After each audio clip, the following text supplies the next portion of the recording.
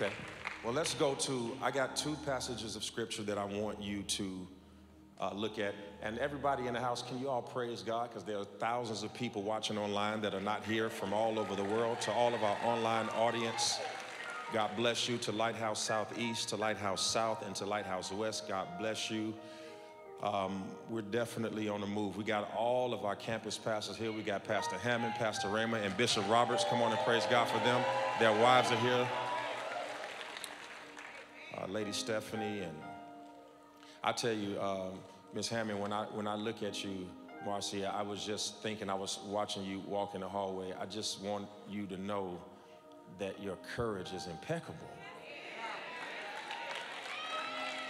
I saw you out of the corner of my eyes. I was coming from a dream center, and I just thought I was going to tell you privately, but I just looked at you now. Your courage is impeccable, and we pray the Lord will continue to keep you in perfect peace.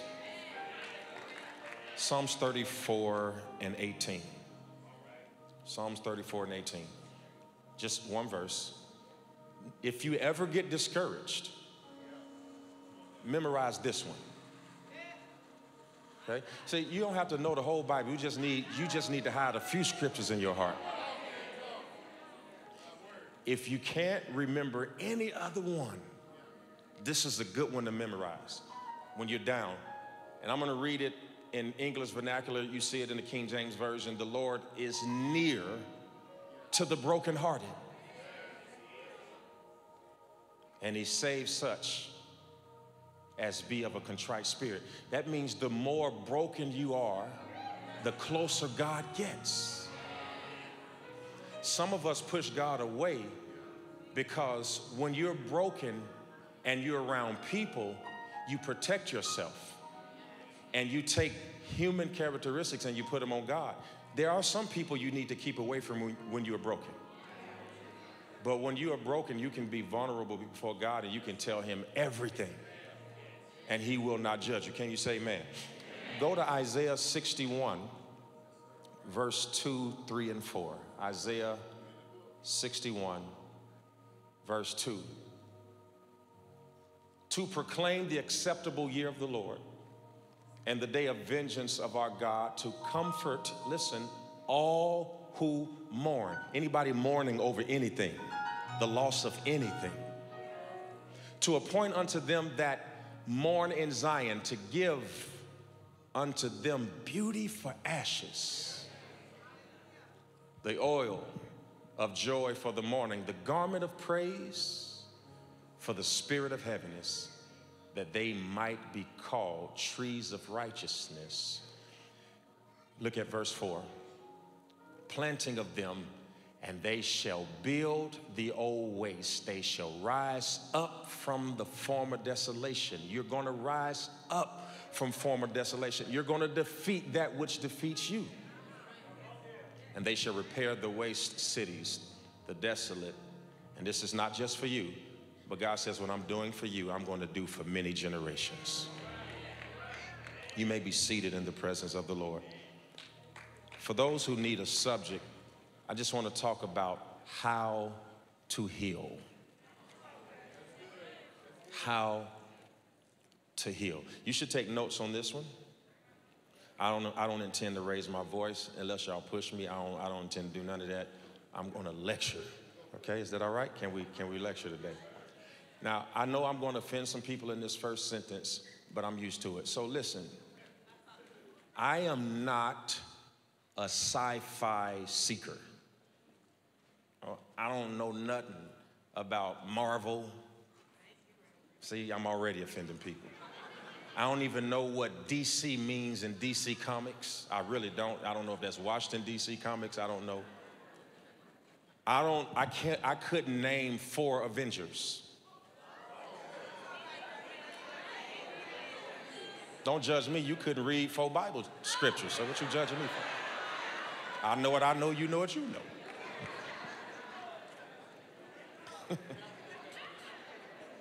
Judge, judgmental Christians, boy, I tell you. I don't, I don't know anything about it. I don't have an appetite for it. I don't think I've ever owned a comic book. I don't, I don't know them. But Obviously, somebody does because they done made a lot of money, billions of dollars on these franchises. And um, so I, I, don't know how, I don't know if, if Iron Man is, a, is an Avenger or if the Incredible Hulk is related to Superman. I, I really don't know how all of that works.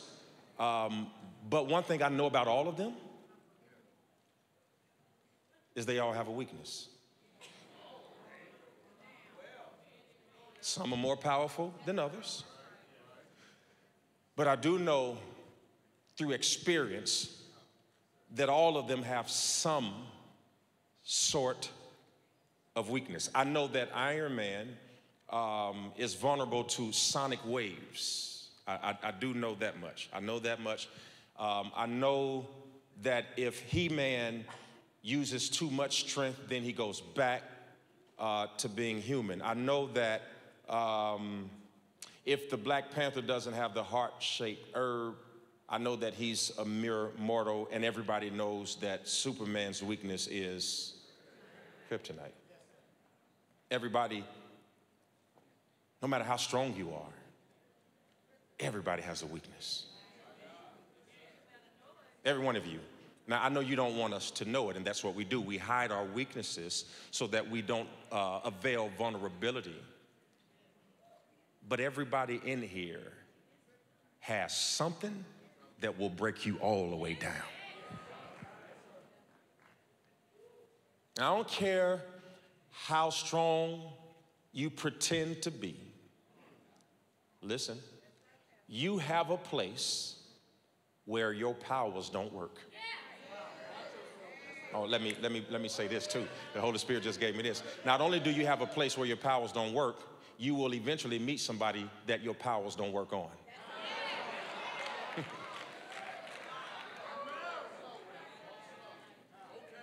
Everybody in here. Now, if you would ask somebody in here next to you, say, what, what is your weakness? They would probably struggle to tell you.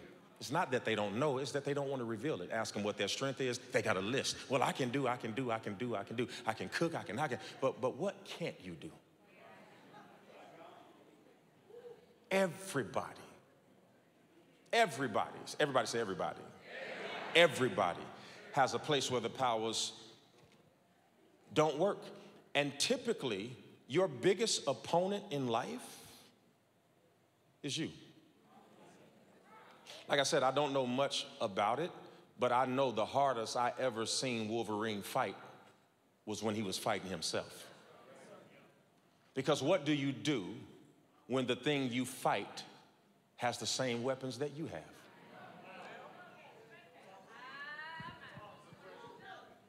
And what do you do when you come up against something in you that in order to fix it, you have to harm yourself? So, whenever there is something that needs to be fixed in us, and we realize how much pain it will take us to get over that trauma, we back off of fixing ourselves and try to fix everybody around us so that we can stay the same and judge everybody else for not changing. Touch your neighbor and say, It's tight, but it's right. It's gonna be rough in here today. It's gonna be rough. It's gonna be rough. The same is true of the subject of our text. David was a strong fellow. He was so strong that he killed a bear barehanded, no pun intended. He killed a lion with his own hands.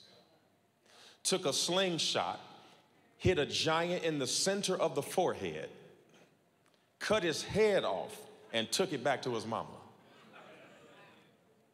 Dropped it on her doorstep and said, You should have kept him at home. He defeated more armies and more people than you could shake a stick at. And yet, with all of the strength and power that David possessed, I would surmise and submit to you that although he was strong militarily, although he was strong financially, although he was strong in his reputation, he was possibly one of the weakest men we've ever met in the Bible. And it is not because of where he was born, but it was because of who he was born to. And David, amongst all of the strongest men of the Bible, was probably one of the most traumatized men you've ever not met. And it did not start in high school where we pretend our trauma starts. And it did not start in our first marriage where we pretend our trauma starts. And it did not happen after you got fired from the job. His trauma started in his father's house. Where, when he was with his brothers and the prophet came to the house to see who would be anointed next, his father had all of his brothers in the lineup, but somehow didn't think that his youngest son, David, or his son David, uh, was suitable for the position. So he left David out in the field while he tried to push his other sons on the prophet to pick somebody to, to, to, to supplant Saul. And David is out in the field looking through the windows, looking at Samuel look at his brothers and find out if their shoulders are broad enough and find out if they're tall enough and to see if their countenance is strong enough. And here David is out in the field smelling like sheep dung, tending sheep, not even invited by his father into the house. And then when you look at all of the things that David does in his life, you understand that it did not come as a result of what happened after he became king, it is a result of what happened when he was a kid. And one of the things we do not like to do is go revisit our childhood. Not only do you like to not revisit your childhood, you are raised by baby boomers who don't like to revisit the past. Oh, come on, y'all. Now, y'all, y'all came out here, no sense of being quiet. So, so now you are raised by somebody who says what goes on in this house stays in this house. You're raised by somebody who won't allow you to speak to them about trauma. You're raised by somebody who doesn't want to hear what you have to say. Why? Because when they tried to speak on theirs, they were shut down. And now when your children cry, you tell them to shut up. And here we are speaking about generational curses, and we are the captains of the cycle.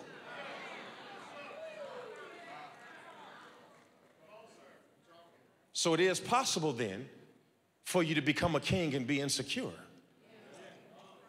It is possible for you to have 12 employees and still have anxiety. It is possible for you to be the smartest person in your family. It's possible for you to be beautiful because David was a handsome man. It is possible for you to have a Birkin bag. It is possible for you to have a Louis Vuitton belt. It's possible for you to drive a Bentley and a Rolls Royce and still not believe in yourself. Because let me tell you something, you can't outdress trauma.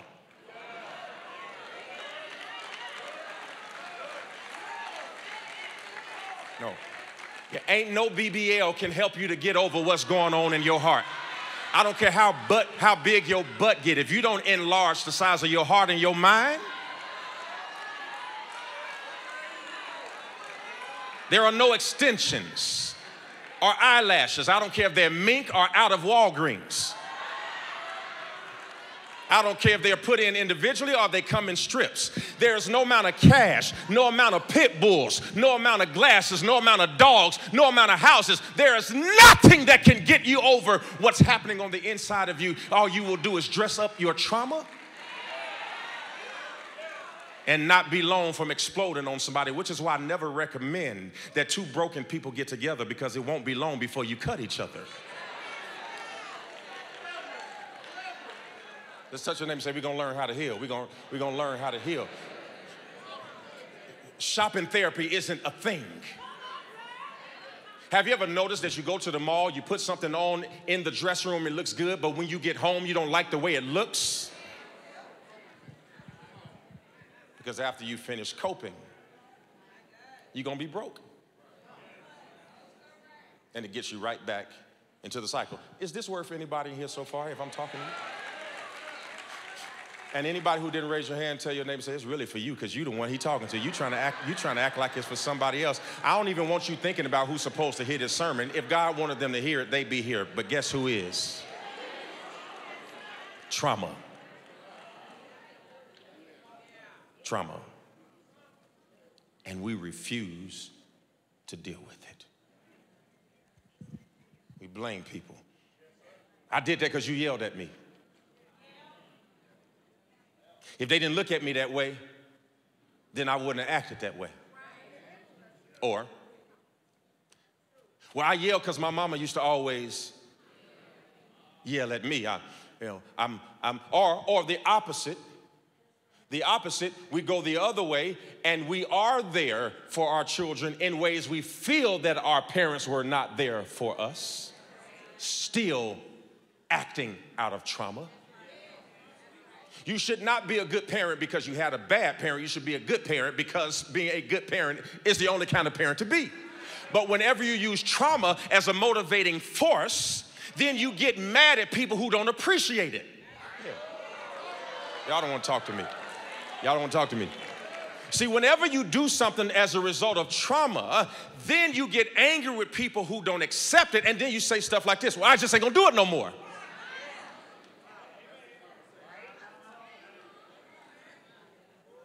You ain't say sorry to me, I ain't apologizing to you no more. You ain't speak to me when I came in the house? Tomorrow I plan to walk right past you. I'm on the car like, he better not say nothing to me because I'm walking right past him. He ain't say nothing to me yesterday. I ain't got to say nothing to him. And I wish he would say something to me because what I'm going to say is, well, yesterday you didn't. Come on, holler at your boy, man.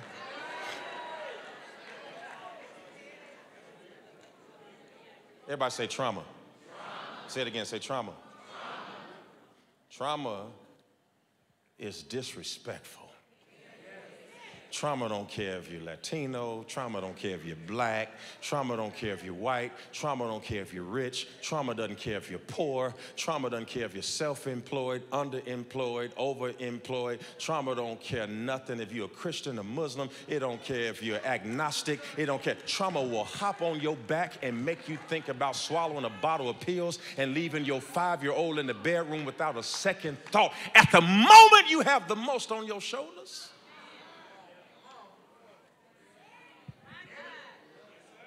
Somebody say, I want to heal. I want to heal. Can I tell you what Jesus said in John 16? Just so, because you know, a lot of people, how many people know people like when they go through stuff, they like, they shocked that stuff fell apart. Like, oh my God, I, I went to church yesterday. That wasn't supposed to happen. Where they do that at? That ain't, that ain't how that works.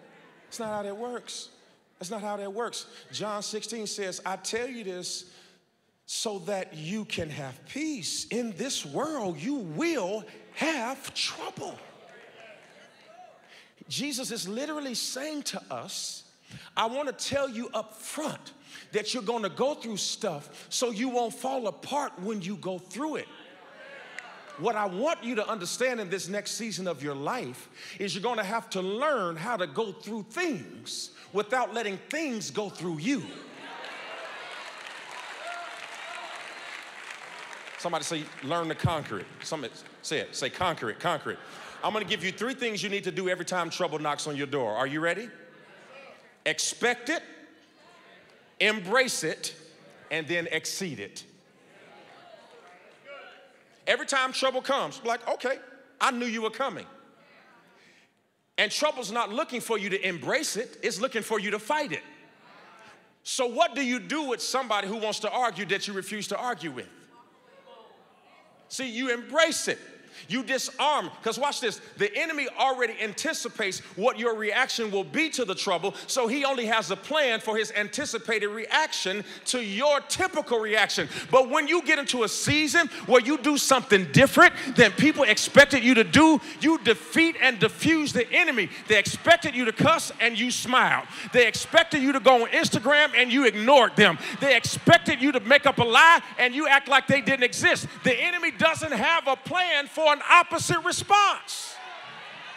So, the best way to deal with the enemy is not to do you, it's to find the new you because he has no strategy for the person you haven't become. Uh, touch three people and say, I'm about to do something different with my life. Not only am I about to do something different with my life, I'm about to have different people in my life. I'm about to be around people who do not push me to act a fool. I need to be around people who can reel me in and calm me down. I need some people who won't judge me for who I was, but will not let me stay who I am. Do I have anybody in here?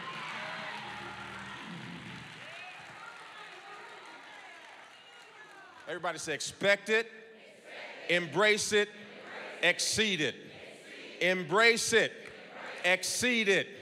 Expect it, embrace it, exceed it. Over and over and over again. Guess what's gonna happen tomorrow? Some stupid stuff. And guess what you gonna do? Expect it, embrace it. Guess what the devil gonna do in September? Some dumb stuff. What you gonna do? Guess what's gonna happen at Thanksgiving when all your crazy cousins get together?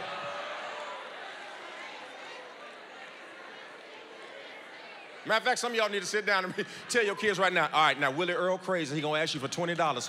Don't bring no money, because if you ain't got none, you can't give it to him. Expect it.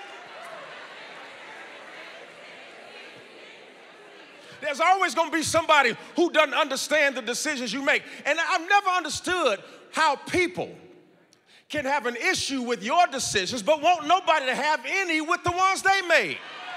Expect it, embrace it, and exceed it. Are you listening to me? So the next time your job tell you we downsizing,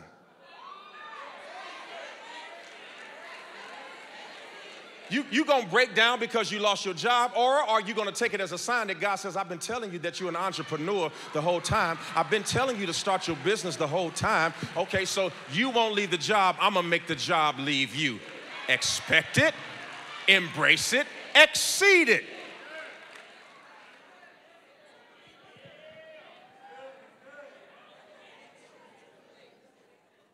As strong as David was, as much real estate as he owned. Could you imagine what David's closet looked like? So, y'all not using your imagination. Can you imagine how much regalia? How many ephods and robes David had in his closet? Could you imagine? He's, he's the king of Israel. He's got everything, all of the chariots, all of the horses. And despite an expensive budget, and despite he gave a billion dollars to start building the temple. Then, John Rockefeller wasn't the first dude balling, David was. David was so rich that his son became the richest man the world ever saw. And yet, he had trauma. Yet, as a battle tested warrior, he still got Uriah killed to be able to take advantage of his wife. I can only imagine that he only wanted Bathsheba because he thought that she wanted him, and because his father didn't want him, David would go in the direction of anything that wanted him. No wonder he took the abuse from Saul because at least Saul sometimes acted like he wanted him. Thank you. You ever wonder why he stuck around? Look at the trauma. He's so traumatized that he refuses to kill a man who tries to kill him every time an evil spirit takes over him. He's got everything in the world. He's the most famous man, the best king that Israel has ever had. And yet he admits, to his, he admits to his depression in our text in Psalms 34 and 18. He says, The Lord is close to the brokenhearted. And he saves those who are crushed in spirit. I wonder if I can get anybody online in this room to just admit, just today, Pastor, I'm smiling, but I'm crushed.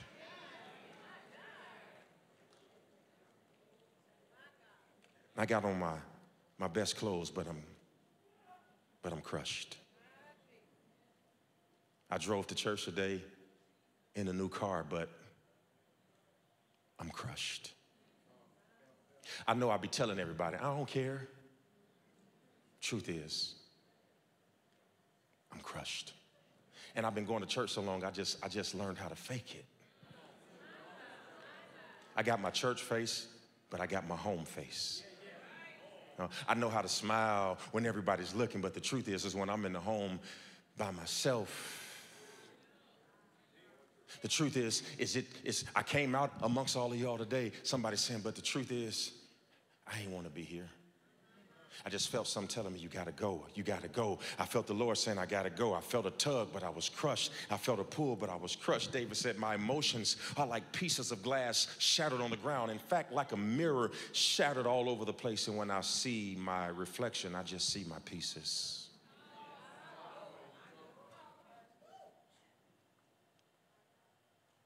I've built walls because of my ex.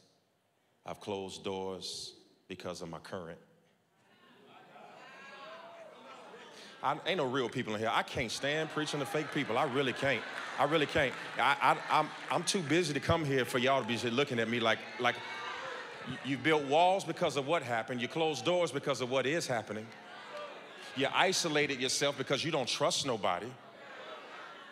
And the truth is, you have problems with the person you're in relationship with, but they're not the problem. The problem is you are really in relationship with the person you're no longer in relationship with. And so now you've built some boundaries to ensure that the person who you are with doesn't hurt you like the person you left. But my question for you is is why would you build any rules on somebody you're no longer with?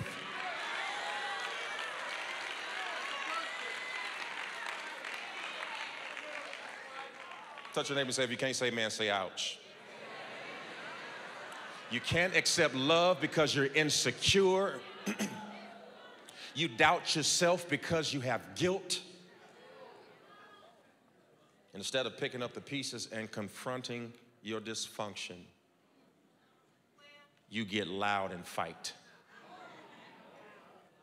How many ever seen anybody just fighting and wrong? Just just wrong, just screaming. I know I'm wrong, but you ain't got to look at me like that. What? How many of y'all ever heard people make dumb rules because they don't want to be wrong?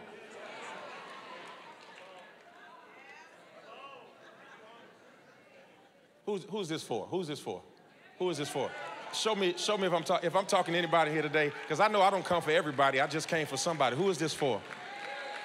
Just show me in sections because I, I, I, don't like this sprinkle stuff. Is it? Am I talking to anybody over here? Because, see, by the time I finish with some of y'all today, you're going to find out now it's your season to be a wife. You just, you didn't know that God was trying to work some things out. And you've been wondering why things have been passing you by. It's because you were not emotionally ready for what God had for you. But by the time we get finished today, you're going to start to see blessings coming down and falling in your lap. And things are going to start working together because now you are not just getting ready for what you want, but you are ready for you, what you want, and what you want is ready for you. And what a beautiful collision when you're ready for it and it is ready for you. Slap your neighbor say, I'm walking into my season of expectation. I'm walking into my season of better. I'm walking into my season of more than enough. I'm walking into my season of what I deserve. Eyes have not seen, ears have not heard. You can't even fathom what God is going to do in my life. Now, if your neighbor ain't said nothing to you yet, it's probably because they're jealous of a future they haven't seen yet. I need you to look your neighbor right in the eye and say, Listen to me. God can do for you what he can do for me. So we might as well praise him together. I'm going to praise him for you and you going to praise him for me. I'm going to give him glory for you and you're going to give him glory for me. I prophesied that your latter days are here. I prophesied that old things are passed away and all things are about to become new. I prophesied the trauma is about to melt away. I speak in the name of Jesus that by the time you walk out of this door, God is going to make your trauma make sense to you. If you believe it, make some noise in this place. Slap somebody, say, I'm tired of picking wrong. I'm tired of crying at night. I'm tired of scrolling on Instagram looking at everybody else. And I'm ready to walk into my season. I'm ready to walk into my appointed time. I'm ready for my destiny. If I'm talking to you, you better act like it and shout in this place.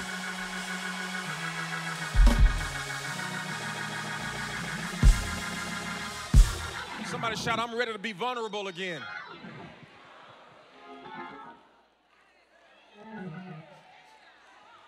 Listen, listen to me, listen to me. Don't say it if you don't mean it. I'm willing to be hurt again. Listen, because if you ain't willing to be hurt, you can't be loved. I can guarantee you, anybody who loves you will hurt you. No, the Bible says those whom he loves, he chastises. Hurt is not the absence of love. Sometimes hurt is correction. And you better learn the difference between hurt and correction. Anybody who has authority over your life has the right to hurt you for the correction's sake. Ask your children how bad you hurt them. If hurt doesn't mean love, oh, you quiet now. Huh? That's different. Tell me how. I'll shut up. Come up here and tell me. It's amazing how we understand authority when it's going out. And how stupefied we become when authority comes in. We know how to exercise authority, but we don't know how to submit to it.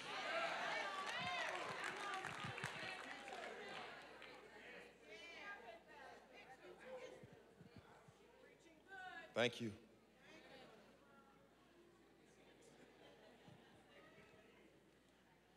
And I'm trying to heal you because wounded people can't provide enough stability to ease pain. And let me tell you something. It is in my experience that there are some things that you hurt too long about.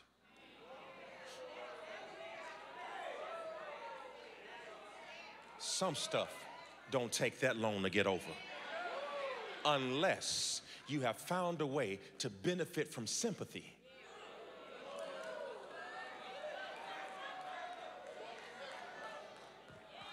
Do I need to come down there and fight every one of y'all? I told you I ain't scared of y'all. Y'all keep playing with me, I will fight every one of you.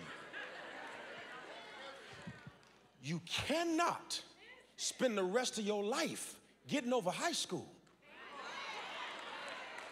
Or go back and get in high school and relive those four years or move on. I am confused at how people can graduate school but can't graduate in life. So you got out of your doctorate program, but you're still in pre K emotionally.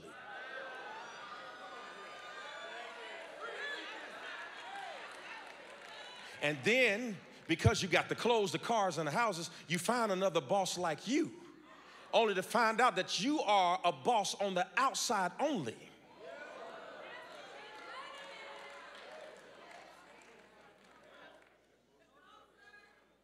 and no emotional intelligence on the inside. And when you don't have that, you not only can you not be a good spouse, you're not emotionally strong enough to be a good friend. There is nothing worse than thinking you are sharing your secrets with somebody who is emotionally stable, only to find out that that friend was a secret agent who betrayed you for their own aggrandizement. Let me get back up here because when I come down, that stuff just start coming out of my mouth.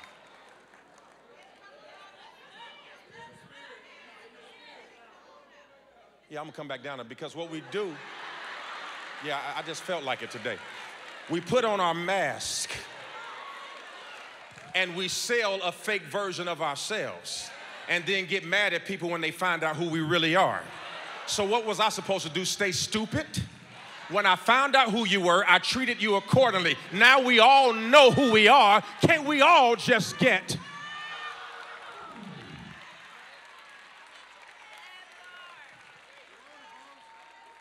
God will never bless who you pretend to be.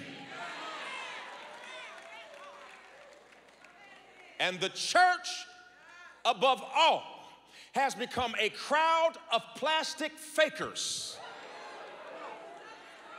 pretending we all got a word for the Lord. My question is if you have a word from the Lord, why ain't that word working in your house, in your life, on your finances, and in your ministry? It's because you are broken and you need to be broken long enough to heal and stop climbing over all of your wounds. You need to talk about it. You need to live through it. You cannot change what you don't acknowledge. Tell somebody I'm trying to get over this stuff. I'm tired of crying. I'm tired of crying. I'm tired of being negative. I'm tired of not liking myself. I'm tired of messing up good relationships. I'm tired. I'm tired. I want to heal.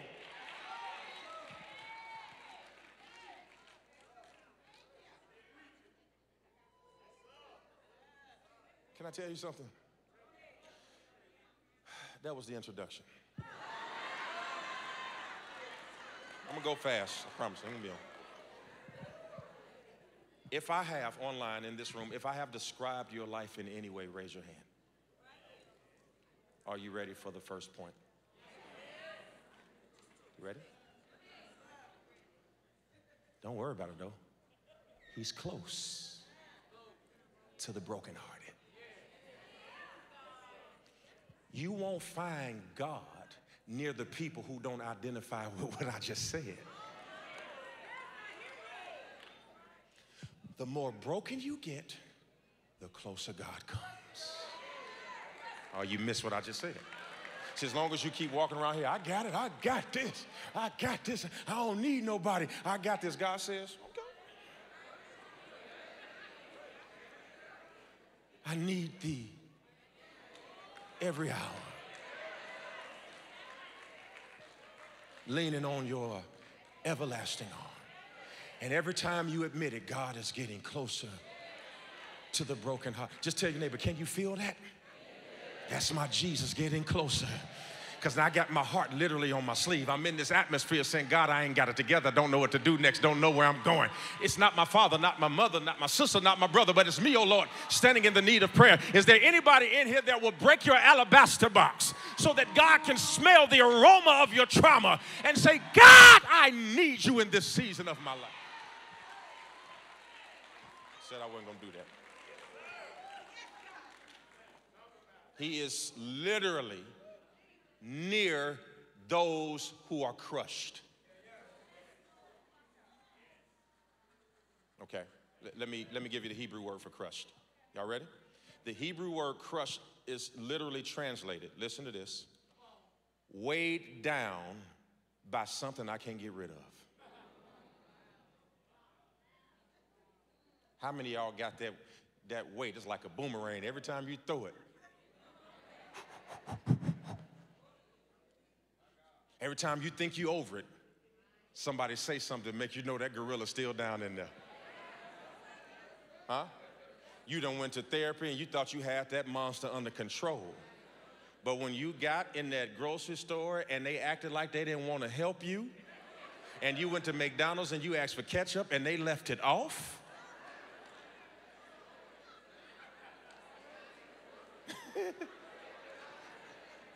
Or you ain't never seen nobody mad until you go to a restaurant and they order their food and it didn't come the way they ordered. They yell at the waiter like he made it.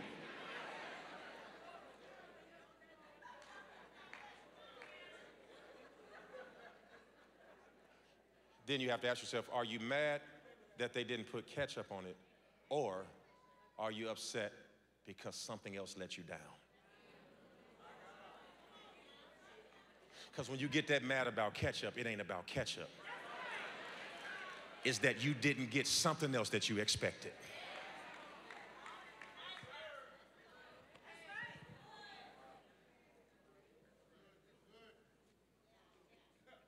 Somebody say he's close. How many of y'all love somebody so much that when they are close to you, you get happy?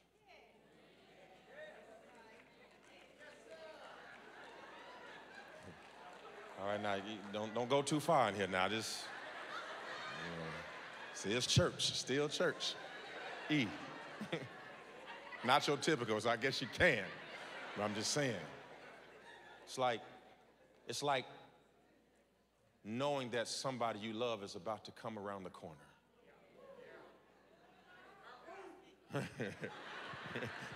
and his wife on the second row just looking like, ah.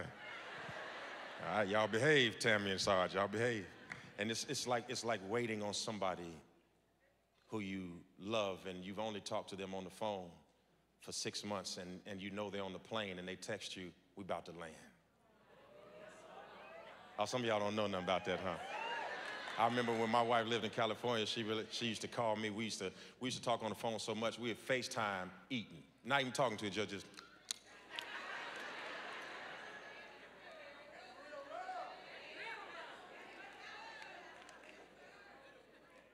just waiting. God says, Can you feel me close? Because the only way I can fix your wounds is close. I can't, I can't bandage you up from a distance. I can't put a band aid on from across the street. I can't put sutures in your skin from across the state. I've got to be close. See, the best thing you can do in this next season of your life is just go ahead and admit to God where you're broken.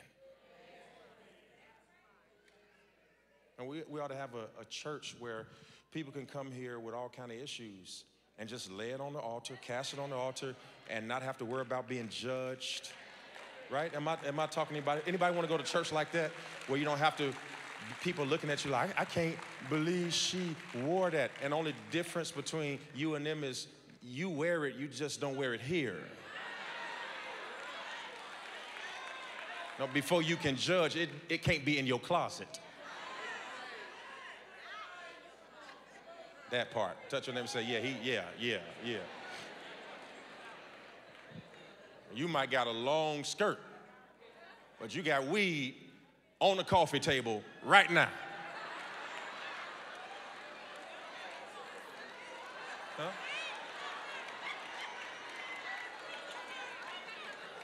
Tell the camera people, don't, don't show nobody, don't show nobody. Keep it, keep it on me. And so, and so, so when we look at this, God says, I, I'm, I'm close to the brokenhearted. I want to be around the people who nobody else wants to be around. I want to be around the people who are robbing Peter to pay Paul. I want to be around the people who are one month away from being evicted. I want to, I want to, I want to get around people who can't seem to feel love even when they have love. I want to be around people whose hearts are broken even when they swear it's been mended. I need to be around people who had children but can't seem to love children. I need to be around people who have a spouse but wish they were single. I want to be around people.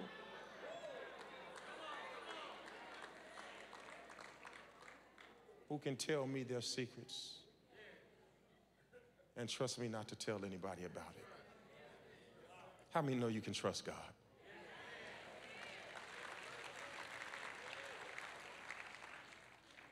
God heals the brokenhearted. Touch three people and say, He's close, He's close, He's close.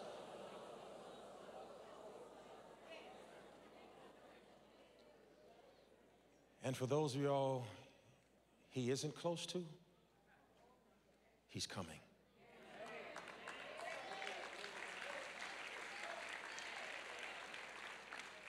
The Spirit of God is upon me because the Lord has anointed me.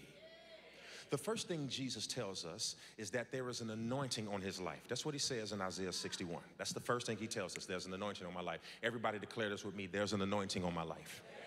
That simply means that God has picked you to do something that nobody else in the world can do it. So if you don't do it, it can't get done. Somebody say, I'm anointed. I want you to hear that and get that in your spirit because the anointing is just not for the pulpit.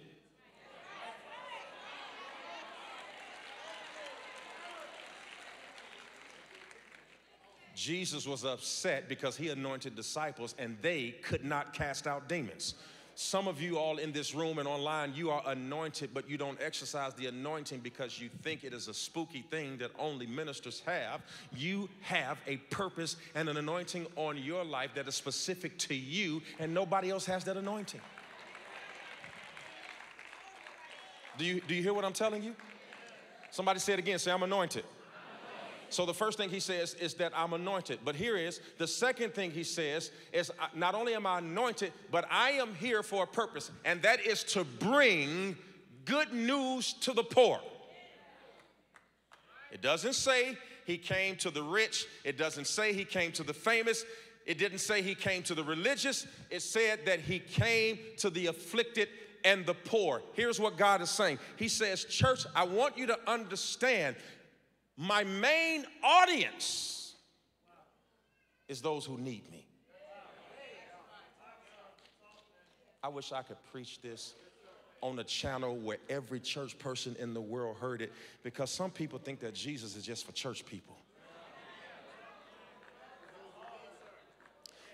Go back and read your Bible. You ain't never seen Jesus walking around with a group of church folk nowhere. He said, I came to seek and save that which was lost.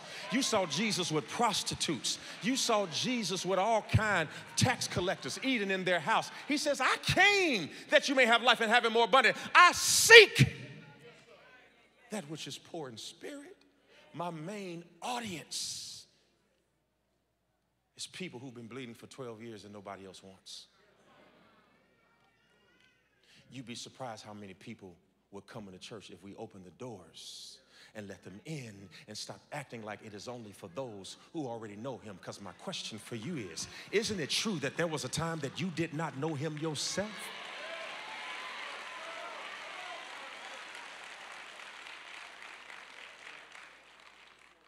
He says, I'm coming for you.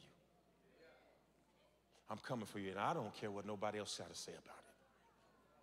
I love you just the way you are and I got a Holy Spirit that I will set up as a resident president to transform you. But until then, it's you and me. It's you and me. He says, I know you so well. I know how many hairs you have on your head. And me who ain't got none. He knows how many I lost. You'd be surprised how much God knows about you, how much He cares about you how much, how much he loves the part of you that you keep trying to hide, how much he loves the part of you that you don't put on the resume, how much he loves that you don't introduce to people. God says, No, you're messing up our relationship. I thought I was getting that. Because I want to make all things new. And I'm tired of hooking up with people who want me to believe everything is new. I need people to come to the altar and fall out and say, Lord, if you don't help me, I can't stand it. I can't, I can't help it. I can't hold my peace. Paul says, I want to do good, but evil is always present and, and, and I'm perplexed on every side and I'm, I've got trouble and, and, and I've, got, I've, got, I've got broken pieces. I've been bitten by a snake. A few times they stoned me and left me for dead and yet I still trust you.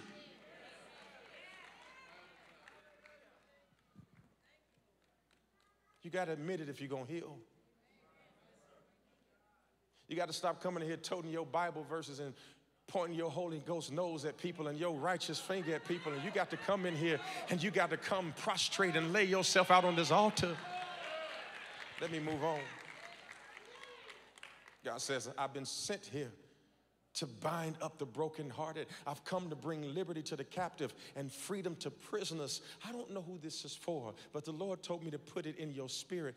God says, I am moving this ministry into a season and a place of two things healing and freedom.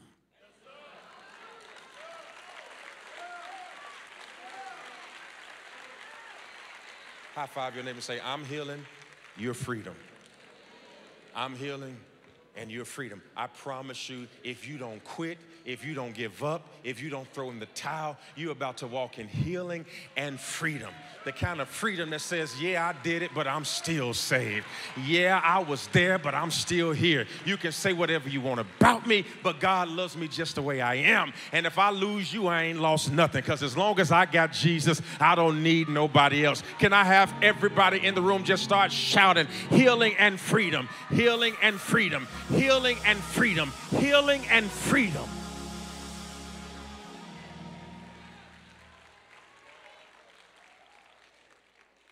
Write this down.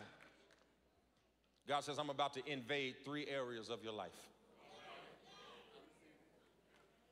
I'm about to invade three areas of your life. I'm about to invade your heart.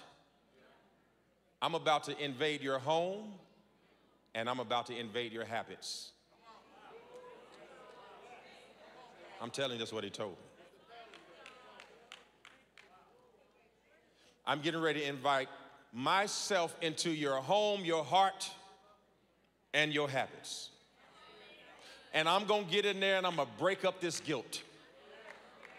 There is no condemnation to those who are in Christ Jesus. He says, I'm coming to break up the hurt.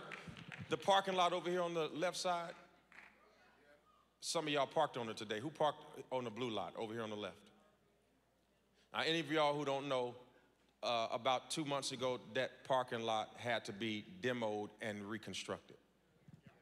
And the reason why it had to be demoed and reconstructed is because the infrastructure was crushed by the weight of what was on top of it. So the water was backing up. And if you had been over here in the last couple months, we were calling out here, we would call it Lake Lighthouse. How many of y'all saw all of that water accumulating there? Because it didn't have the infrastructure to flow to the runoff and go where it was designed to go, so it backed up. Now we had two options.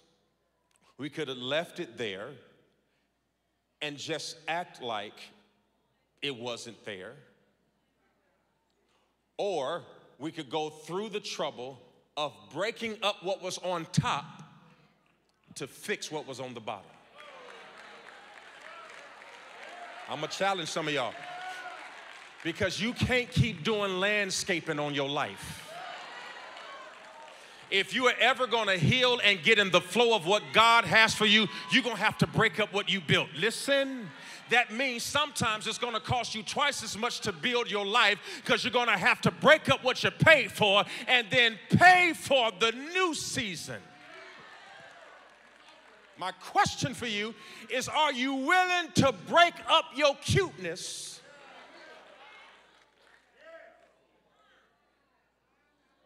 Are you willing to break up your presentation? Are you willing to break up what you've convinced us you are so that you can get your infrastructure together and get in the flow. Aren't you tired of living beneath your privilege?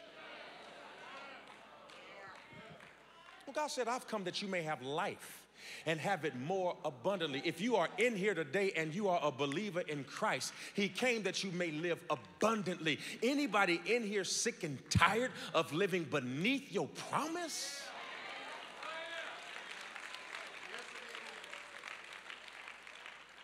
Watch this. We had the water over there. Pastor Terry, we had all kind of ducks and birds over there in the water. Because when your life is broken, you will attract what needs it.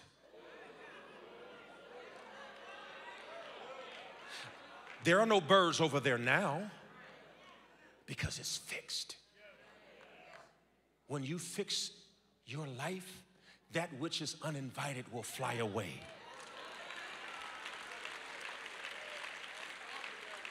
And because we are near the airport, we have to fix it expeditiously because airplanes land on the runway and, and the birds are a hazard to the plane. So sometimes your broken life is a hazard to an innocent person.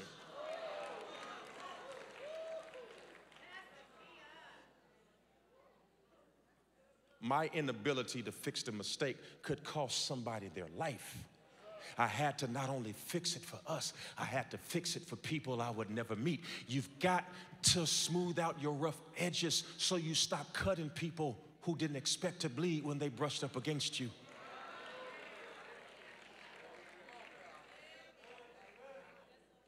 It is not okay to be that mean. It is not okay to hold a grudge for nine years.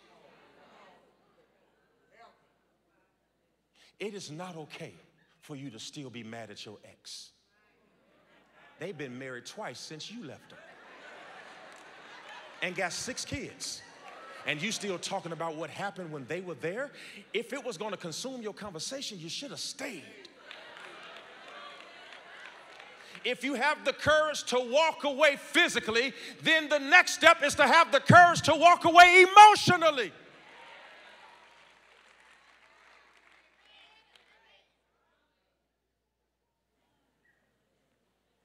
Touch somebody say, fix what's underneath.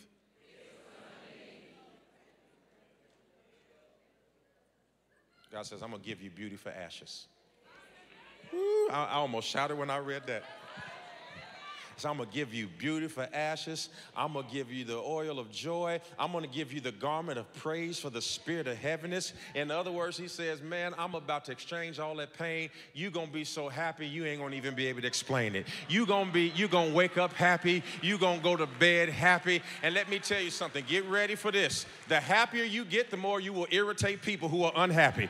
And let me tell you something don't you calm yourself down to make them happy. I need everybody in here to declare this with me. Say, say, I refuse to water myself down because they can't handle me at 100 proof. I'm going to say it to somebody over here. You're going to have to take all of this, this smile, this happiness. I refuse to walk around here sad because you can't get yourself together. I'm just looking for people who got the joy of the Lord. Who got the joy of the Lord? I'm not even going to calm this sermon down for people who don't want it like this. I'm going to give it to people who are on the same frequency I'm on. Give your neighbor high five and say, I got to exchange this energy with you. When I move, you move just like that. If I jump, you jump just like that. If I shout, you shout just like that. It is no secret what God can do. What He's done for others, He will do for you. Now, I need a hundred people in this room to open up your mouth and begin to give God glory because He's about to take the hurt away.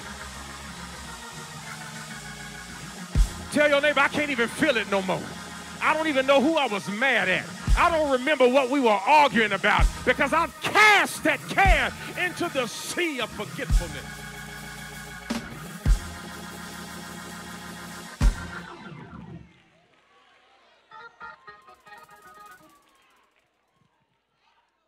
You got to lay aside every weight. Did you know that it's impossible to praise God and still stay heavy? Nah. Anybody in the church is still downtrodden and heavy is because you won't release yourself to give him glory. You cannot stay down when you lift up your voice. You can't stay down when you lift up your hands. You can't stay down when you lift up your spirit. When praises go up, people go up too. I want you to open up your mouth right now and begin to give God the kind of glory that signifies I once was lost, but now I'm found. I used to be depressed, but now I'm going to the next level. Come on and give him glory. Matter of fact, look at your neighbor, see if you can find a praise partner. Find somebody who will shout with you for the next 30 seconds. Find you somebody who will shout with you for the next minute. Find somebody. I said I wasn't going to do it. I said, find somebody. I said, find somebody. Some of y'all ain't found nobody yet. I said, find somebody and tell them, neighbor, God told me to tell you, oh, all things are, are passed away, and all things are about to become new. If you feel the newness of God all over your life, I dare you start shouting right now. I dare you lift up your heads, oh ye gates, and be ye lifted up, ye everlasting doors, and the King of glory shall come in. Who is this king?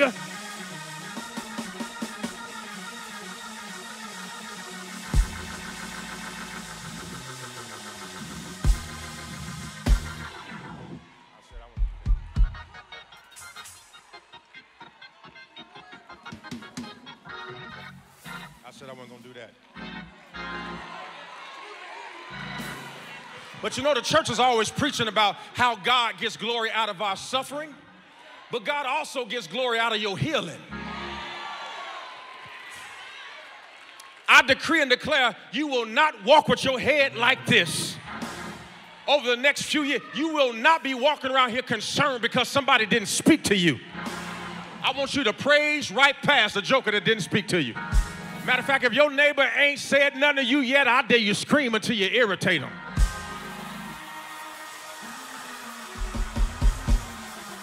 And if they looking at you like you ain't supposed to praise God, tell them, you don't know what I've been through. You don't know what I had to go through just to get here. Is there anybody in the room that's been laying by the pool of Bethesda for 30, 80 years? But the word of the Lord is the angel is troubling the water. Tell somebody there's a miracle in the room and it's got my name on it. There's another miracle in the room, and it's got your name on it. But if you don't want it, I'll take it. If you don't want it, just give it to me. Shout it, yeah!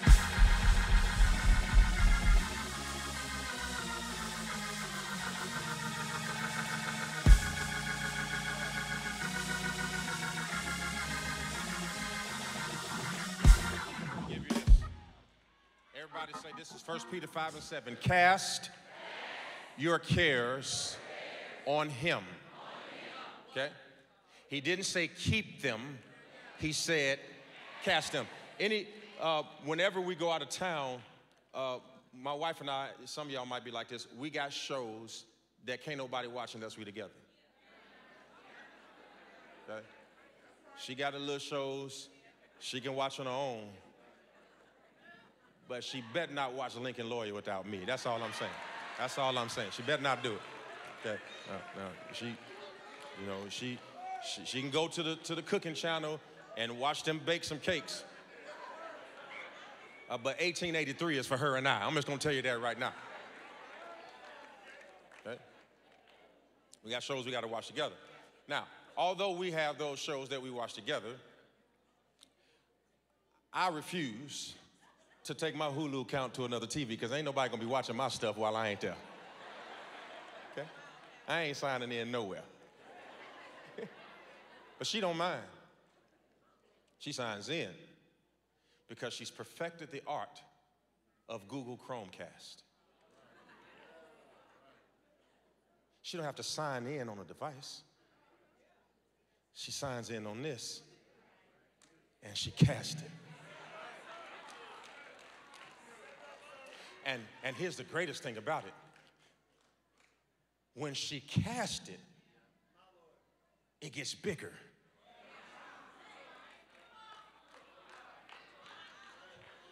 She could do mo- like most of us and keep it, but anything you keep will always be small. If you ever get enough courage to just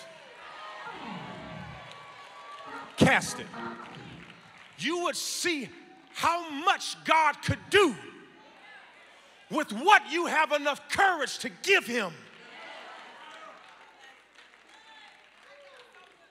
Cast it. The volume is louder over there. The picture is bigger over there. I can see details over there that I cannot see over here. And as long as you keep hoarding your trouble, you will always stay small. If you want to grow,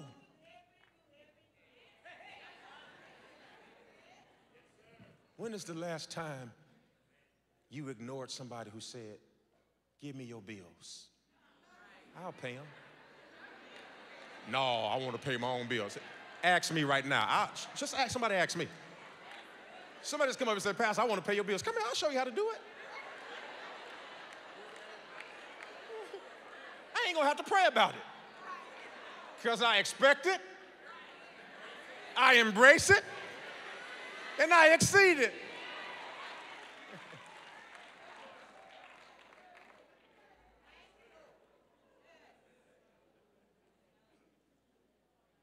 how to heal. First, just cast it. Give it to him. Number two, we're going home. Confess it. Stop. Don't sit down, I'm done.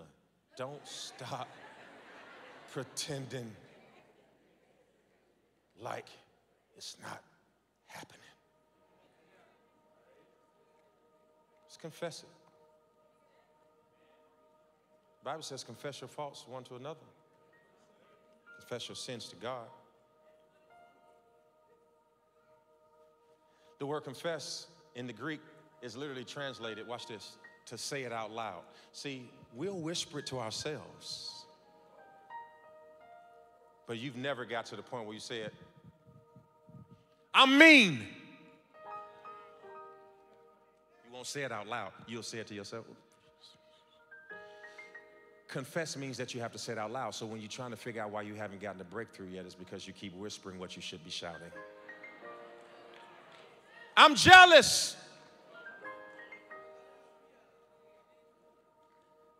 I'm hard to get along with. I can't be trusted.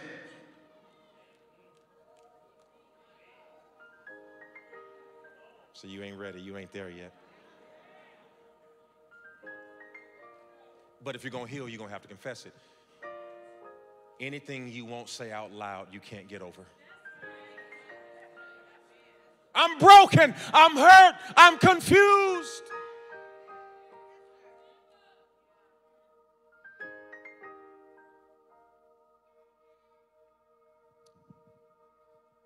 Another thing I want you to do as you're healing, I want you to stay creative.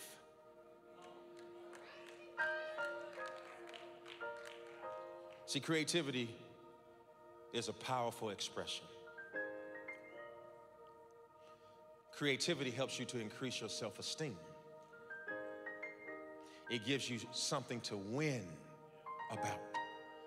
And when you win in the area of creativity, it will give you enough joy to supplant and survive the attack that the enemy has prompted on you emotionally. Everybody say, be creative. Let me say it this way all trauma at its core is a picture, creativity is the brush.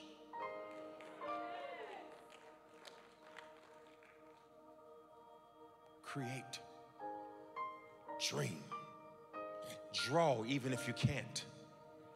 Just create something. Go get a puzzle, get some Legos, just create. Number four, this is huge. Whenever you're not healed, you have to monitor your cravings.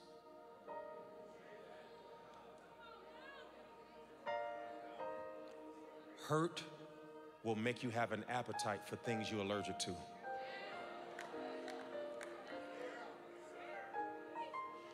Loneliness will have you in a relationship that's over before it starts.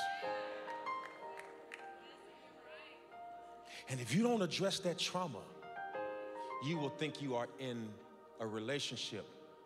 You are actually just in company. How do I know it's just company? Because you can't wait until they leave.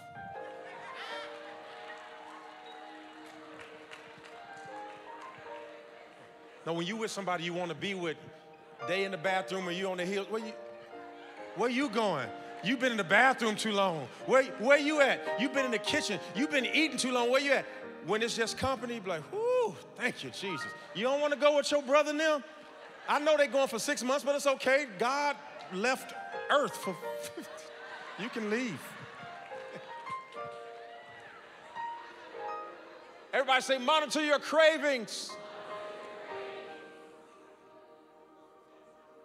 Don't let hunger and trauma turn you into a starving monster.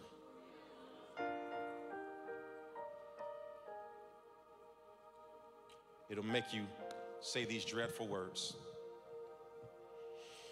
This is what comes after trauma. If you've ever said these words, you'll know exactly what I'm talking about. After you finish hurting, after you finish crying, after you finish trying to heal, and you know you can heal wrong. If you don't set a bone, it'll heal, but it'll be crooked. This is how you know you have been hurt and you're not over it. Look at me. It's my last sentence before I pray for you. I'ma just do me. And when you get there, you're done.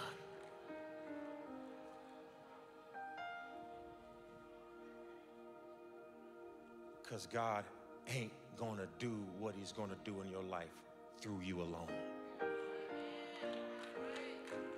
Paul had Timothy. Jesus left us the Holy Spirit.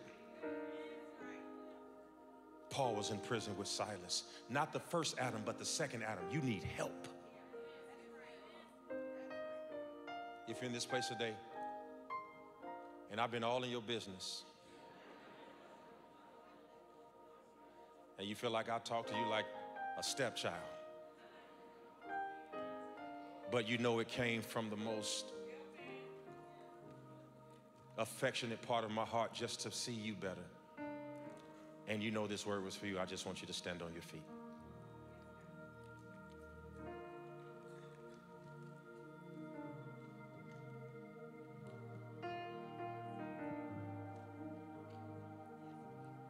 Lift your hands all over this place. We're right back to Daddy.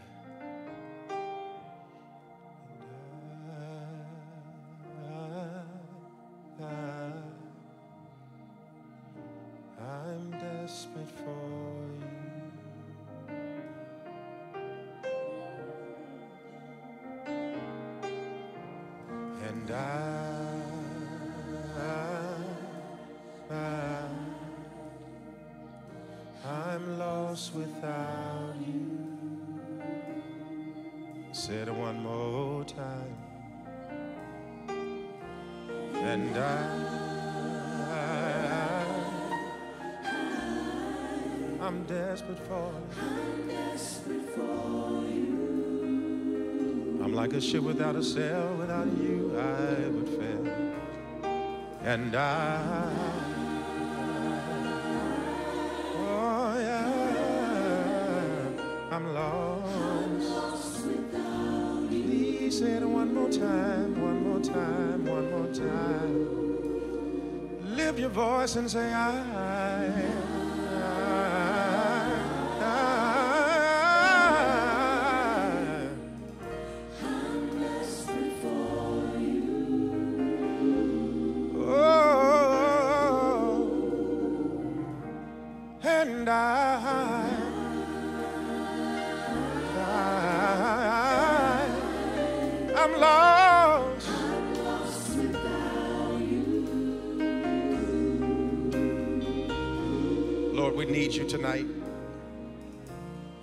If we could do this on our own, it would be done. We only came today to acknowledge that we know something needs to be done. Simultaneously, we admit that we know that only you can do it. Help us heal tonight. We don't want to go into our 30s the way we came out of our 20s. We don't want to go into our 40s the way we came out of our 30s. We don't want to go into our 50s the way we came out of our 40s. We don't want to go into our 60s the way we came out of our 50s. Creating us a clean heart, renewing us a right spirit. If we don't break this curse, we're going to give it to our sons and our daughters. If we don't break this curse, we're going to raise another reprobate generation if we don't erase this pain. We're going to be rehearsing stories of yesteryear and not pressing towards the mark for the prize of the upward call. Tonight is the last night that we will cry over what we shed tears about. Stand firm on the fact that you are a rewarder of those that diligently seek you. We seek you tonight and believe that all things will be well. In Jesus' name we pray. Come on, give him 25 seconds of praise. Come on, give it to him, give it to him. I'm desperate for. Hug somebody, tell them everything's gonna be all right. Hug somebody, tell them everything's gonna be all right. And I,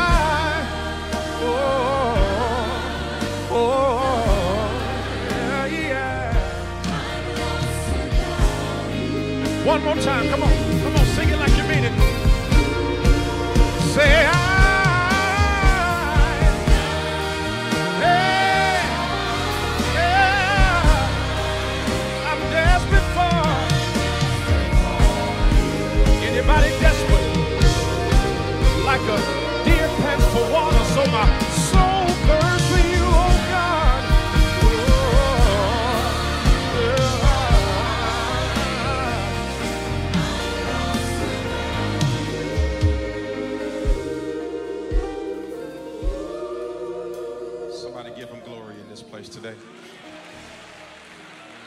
Hallelujah. It's time to give. It's time to give. Come on and praise God. We're giving church. We believe our giving breaks curses. We believe our giving rebukes the devourer. We believe our giving is the way we communicate with God and God communicates back with us. How many of you know giving works? Let me see some sign if you know giving works. I don't need to be prompt, tricked, primed. I came expecting to leave God a gift. I came knowing that I was going to give because I came expecting to receive. You cannot expect anything out of a relationship you do not deposit into. One of my favorite words in the English language is reciprocity. It means I give to you and you can expect it and you give to me and I can expect it. And when everybody knows that I'm in a relationship that I'm not only sowing into, that I am reaping from, it builds trust. God uses money to build his relationship of trust with you. That's why sometimes he takes it away and then he still provides. Sometimes he gives you an abundance and see if you'll help somebody else or whether you'll be selfish. It's a test. It's a test. This thing is immaterial. It's about what happens in the heart. The stock market controls what this does. God controls what I can do with it. Everybody who got your gift, stand up.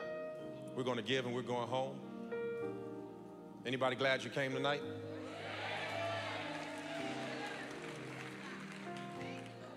Hallelujah, Jesus. And I.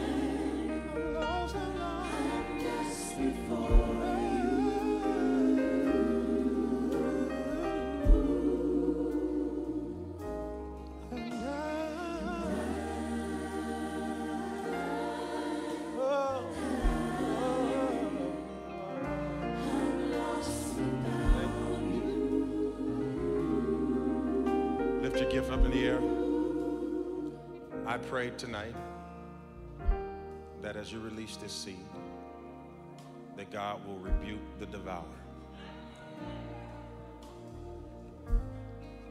That all of your bills will be paid by the fifth of every month. I wish I had my phone with me today. Y'all know I've been anointed to erase student debt. I got another report today that another person I prophesied to, it's in my phone from Dallas when I preached at Bishop Church Wednesday, $70,000 in student loan debt gone. What that simply means is that since I made that declaration to you, over $6 million in student loan debt has erased. Anybody want to be under that anointing? And God did not tell me to release it. He's still going to erase student debt as you become faithful with your giving. How many of y'all need God to do something with them? Fannie Mae, Mac, Larry, Jack, and Jill, all of them. Anybody need God to do something with all of them? I bind every one of them in the name of Jesus. Somebody shout debt free. Pass your gift to my right, your left. Y'all praise God for my prayer.